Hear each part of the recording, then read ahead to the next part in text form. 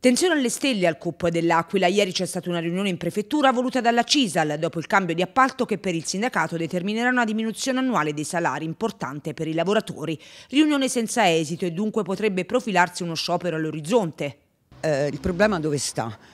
Eh, sta che il capitolato e il bando di gara recitano chiaramente che la ditta subentrante può anche adottare il CCNL che vuole, ma l'importo che erogherà ai lavoratori non può essere inferiore del minimo tabellare del CCNL del terziario.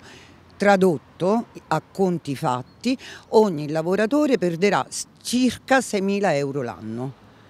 Poi loro in malafede, in purissima malafede, perché se no quando tu fai un cambio d'appalto a pari condizioni non devi regalare tra virgolette soldi, gli regalano con un super minimo un circa 1000 euro annui lordi sempre. Perché? Perché sapevano che così ne stanno risparmiando 5000.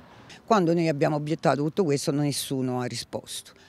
Ci dispiace molto perché la firma di un sindacato è pesante.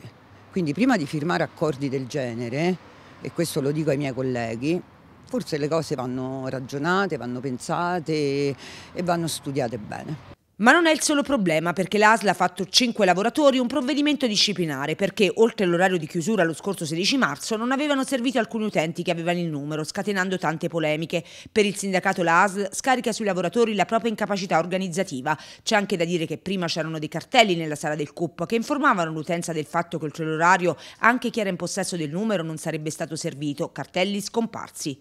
I lavoratori, nonostante questo, cercano sempre di accontentare tutti e non si contano gli interventi del 118 di soccorso a persone, soprattutto anziani, che si sentono male a causa delle lunghe file, questo giusto per far capire la situazione.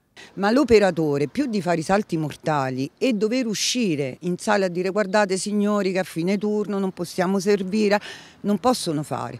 Questi si prendono insulti, si prendono le chiamate dei carabinieri, si prendono tutti e il responsabile, il dottor Bisegna, ha detto che quel sabato famoso, dove poi è stata fatta la lettera disciplinare ai cinque dipendenti in turno, ha deciso che siccome un utente si era andato a lamentare, cosa che succede tutti i giorni, forse quel giorno, visto che erano usciti articoli sulla stampa, ha voluto far vedere che loro sono forti, ha preteso queste lettere disciplinari alle quali ovviamente ho risposto prontamente, aspettiamo per vedere l'esito insomma.